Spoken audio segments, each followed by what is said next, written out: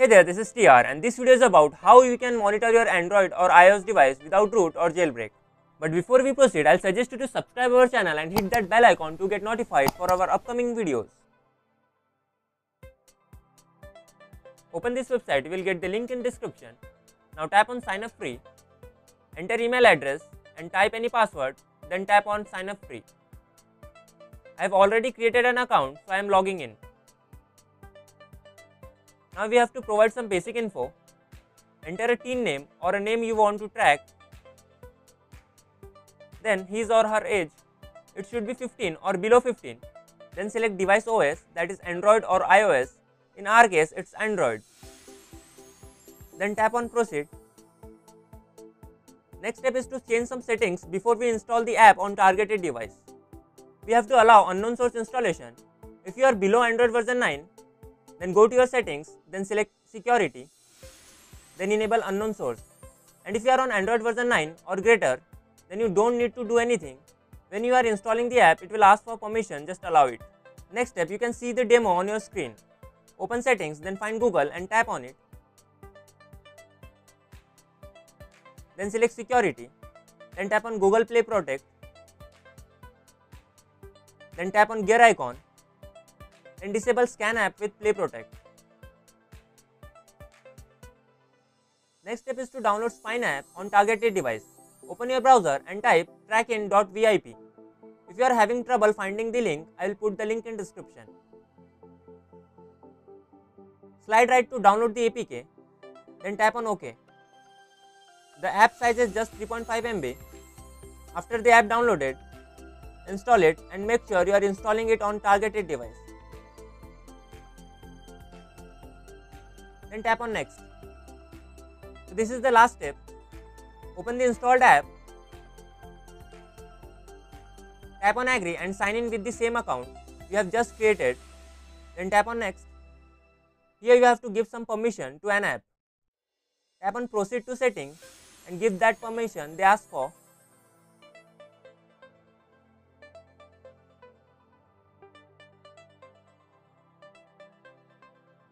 After that, select hide the application and tap on start monitoring. That's it, your device work is done. Now you can monitor the device from anywhere in the world. Tap on next. Now you can monitor your device from here. Tap on dashboard to get some info. Here you can see your device model and Android version. Next is 5 most calling contact with phone number Next is last known location. Now it is updating location. So I'll show you in some time. Next is 5 most messages and then the phone activity. Let's go to call section. Here you will get the caller name, phone number, duration, date and call type. Next section is contacts. Here you will get the contacts from targeted device. Next section is messages.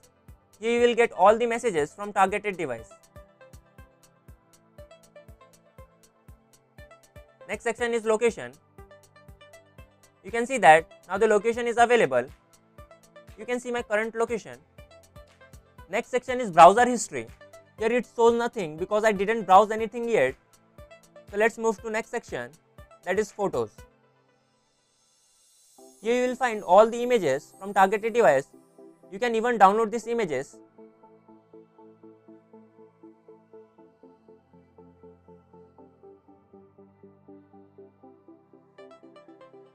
Next section is videos. Here you can find all the videos from targeted device. You can even download these videos.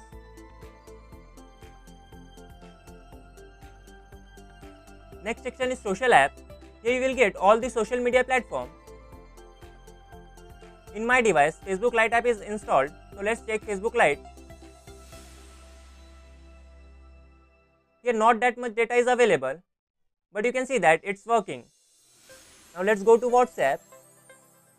Here also you will get some data, just some casual text. Now let's move to Instagram. Instagram is also working. I have sent just one message and it's showing. Here you will get all the social media platform and I don't even know some of these. Next section is calendar. Here you will get all the calendar event from targeted device. Next section is application. Here you will see how many application and what application are installed on targeted device. Next section is SIM card.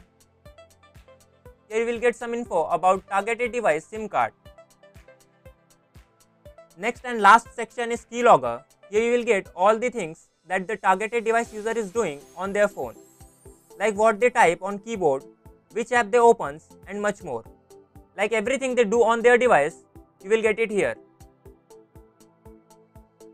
Now let's talk about pricing. Here you will get 3 plans, basic, premium and family. I'll suggest you to go with premium because it's cheaper and you will get all the feature in this plan and it just costs $9.99 a month and below the plan you will see the feature they are providing. It's available for both Android and iOS and the iOS plan is very close to Android one. At the last I want to thank Spine.com for sponsoring this video. Like and subscribe for more such videos and I will catch you in the next one.